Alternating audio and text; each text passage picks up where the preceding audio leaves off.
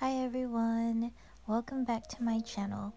Today I have another journal with me video and here are some of the things that I'll be using.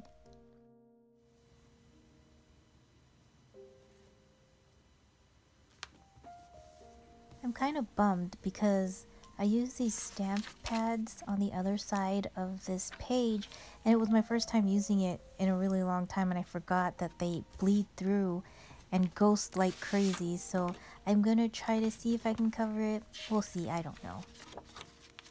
If not, oh well, it's not the end of the world.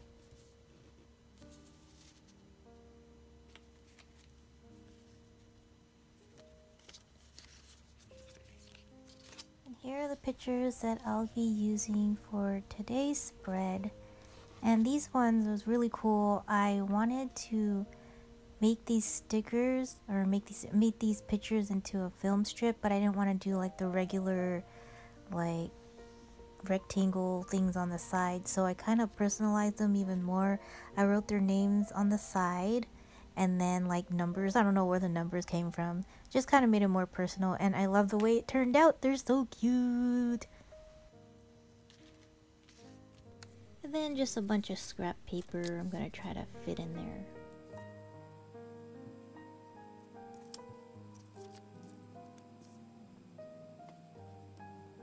Lately, I feel like I don't really know what I'm doing when I'm decorating anymore. I feel like I'm doing the same things over and over again and not really coming up with new ideas. I just feel like I'm in a rut. I've been stuck and I, lately I just keep moving papers around over and over and over again and I don't know. I don't know. Maybe it's just that I found the style that I like, so I like to use it over and over again, but then I don't know if people are to be bored with it or what, but I like what I do, but at the same time I want to be trying to keep evolving and keep trying new things, but sometimes it's hard. I feel like I waste so much time just sitting there trying to figure things out. I was actually getting really frustrated and not having fun for a while, so I took a break for the day and came back the next morning and I was like, you know what? Just do what you want to do and have fun with it because that's what it's about. And sometimes I forget because I just want it perfect.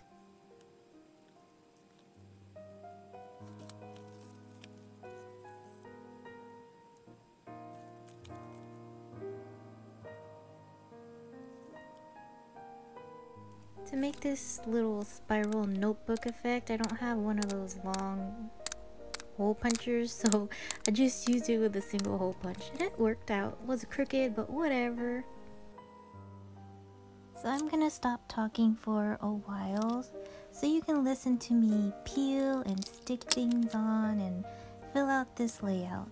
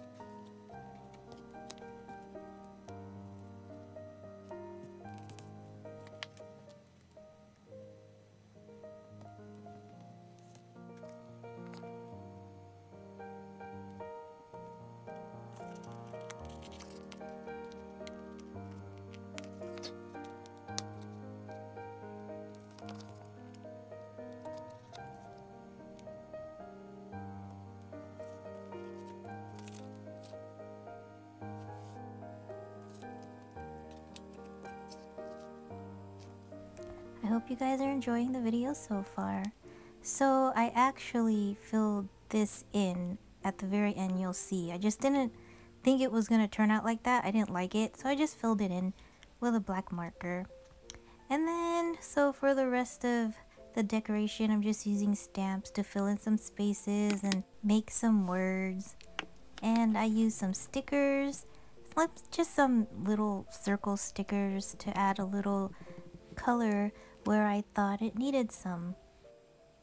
And this time I am using the Versamagic chalk ink which does not bleed through like at all. I love these stamps. I don't know. I think it's because I wanted the colors from the other stamp. So I used that and then I forgot and now I think I will always remember not to use those stamps in here. If I do, then I do what I usually do. I do what I usually do. I will stamp onto the clear sticker sheet first and then cut it off and then place it into my journal. And that is it, my friends. I decided to skip recording me writing it out. I don't know. I don't know if people get bored of just watching me write. So this time I did not add it. Anyways, I hope you guys enjoyed my video and the final product of my layout. As always, thank you so much for watching and I hope you come back again for my next video. Until then, take care.